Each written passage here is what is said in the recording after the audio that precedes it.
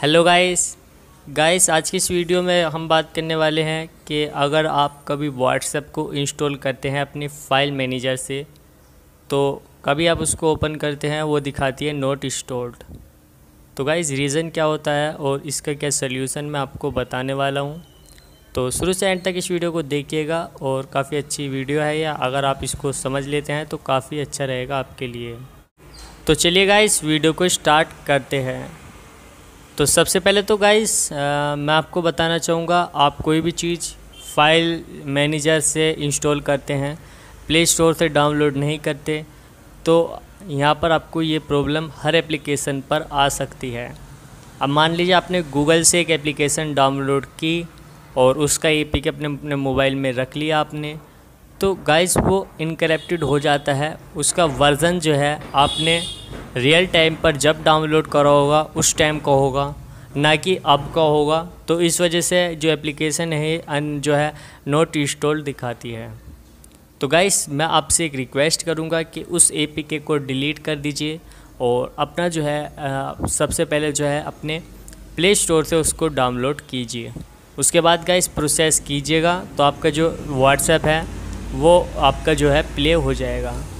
अब गाइस बहुत लोग ये सोचते होंगे कि मैं तो ए पी के चलाता हूँ और उनको पता ही नहीं होगा अपडेट क्या होता है अपडेट कैसे करना है। तो आप इस वीडियो को ज़रूर डिसलाइक करेंगे क्योंकि आपको नहीं पता है इसके बारे में। आ, मैंने भी काफ़ी दफ़े ये चीज़ देखी है कि जब मुझे पता नहीं था इस बारे में तो मैं उस एप्लीकेशन को इंस्टॉल करता था और वो इंस्टॉल नहीं होती थी। रीज़न यही रहता था गाइस कि वो जो एप्लीकेशन है वो जो ए है वो ओल्ड है। और व्हाट्सएप में हमेशा अपडेट आती रहती हैं और ज़्यादा पुराने अपडेट हो जाते हैं तो व्हाट्सअप उसको सपोर्ट नहीं करता है। डेटा जो है आपकी जो डेट आती है, वो इनकरप्टेड बताने लग जाती है व्हाट्सएप के अंदर। तो आपको ध्यान रखना है कि प्ले स्टोर में जाएँ। प्ले स्टोर में आपको आईडी बनानी पड़ेगी। उसके बाद गाइस आप इसको एक्सेस कर पाएँगे। और सिंपली आपको यहाँ पर टैप कर देना होगा व्हाट्सएप आप कोई सा भी व्हाट्सएप चला लिए, कोई दिक्कत नहीं है। व्हाट्सएप मैसेंजर जो है वो काफ़ी बेटर है। यहाँ पर मेरा फुली अपडेट है, इसलिए मुझे ओपन का बटन दिखा रहा अगर होता तो जो है यहाँ पर अपडेट लिखा हुआ आ जाता।